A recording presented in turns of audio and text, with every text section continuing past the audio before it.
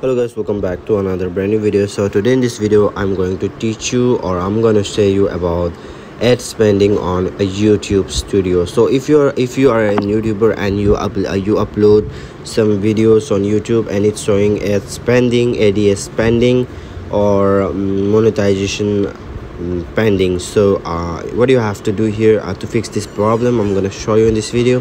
So before starting the videos i would like to request you please to hit that subscribe button and press the bell icon so that i will be motivated and bring up more informative videos every day. So guys uh, first of all what you need to do here is that you um, first of all no need to get scared or anything. This is just a bug of uh, youtube youtube studio.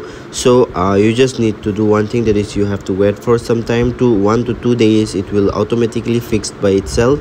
It is just a small bug so no need to uh, scared for ads pending problem and yeah um, this problem will absolutely uh, solve in a while. So um, make sure that you are happy and free just wait for a while. So this is what i'm gonna show you so thanks for watching